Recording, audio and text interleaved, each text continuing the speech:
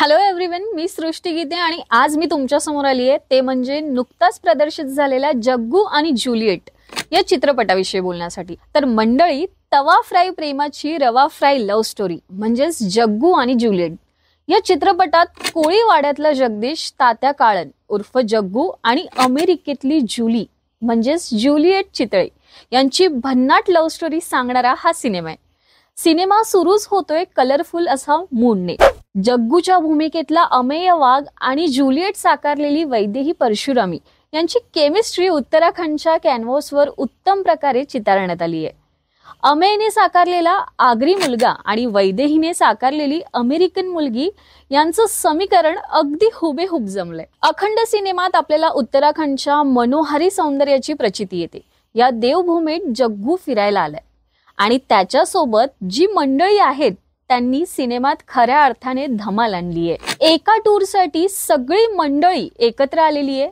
समीर धर्माधिकारी प्रवीण तरडे समीर चौगुले केवरी शहा अविनाश नारकर सविता मालपेकर सुनील अभ्यंकर रेणुका दफ्तरदार अंगद मस्कर अभिज्ञा भावे ही सगळी भन्नाट पण तितकीच संवेदनशील माणसं आणि त्या सगळ्यांना एकत्र बांधून ठेवणारा टूर मॅनेजर आणि सिनेमाचा सूत्रधार अर्थात ऋषिकेश जोशी. ऋषिकेश जोशी हे खऱ्या अर्थाने जग्गू जुलियटच्या प्रेमाचे साक्षीदार आणि गोष्ट सांगणारे सूत्रधार म्हणता येतील. याशिवाय अभिनेते मनोज जोशी यांनी साकारलेले जुलियटचे वडील भावनिक करून जात आहेत. या सगळ्या दिग्गज कलाकारांना भूमिका लहानच आहेत. त्यांच्या भूमिकांचा आवाका आणखी थोडा मोठा असता तर अजून मजा आली असती. अमेय वाघ हा मराठी सिनेसृष्टीचा फास्टर फेणे नाही तर जग्गू तात्या काळन आहे असं म्हणायला काहीच हरकत नाहीये. आजवर साकारलेल्या सगळ्या भूमिकांची छाप पुसत अमेने या भूमिकेवर स्वतःची छाप उमटवली आहे.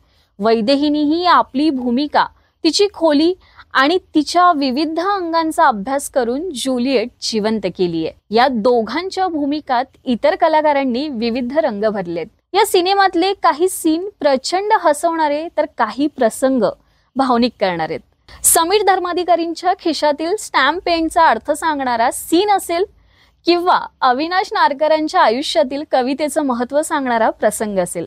असे काही प्रसंग चित्रपटाला अधिक खोलवर नेत आहेत.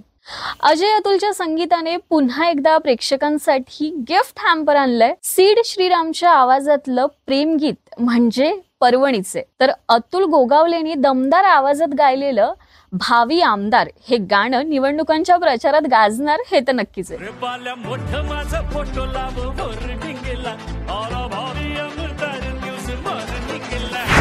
सिनेमाचं पार्श्वसंगीत सिनेमाला पूरक आणि पोषक आहे. चित्रपटाचा गाभा अधिक उठावदार करण्याचं श्रेय हे अनमोल भावे यांना जाते.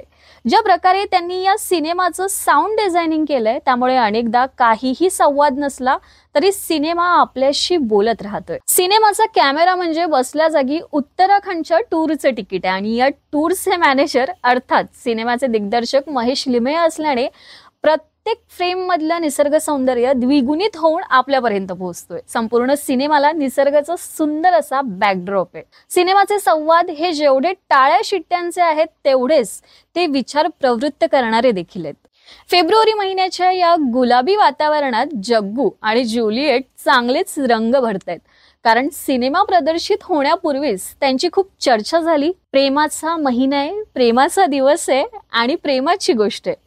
त्यामुळे वय वेळ या कशाचाही विचार न करता आपल्या जग्गू आणि ज्युलिएट सोबत हा सिनेमा नक्की पहा आणि एका आगळ्या वेगळ्या अशा लव्ह स्टोरीचा आनंद घ्या.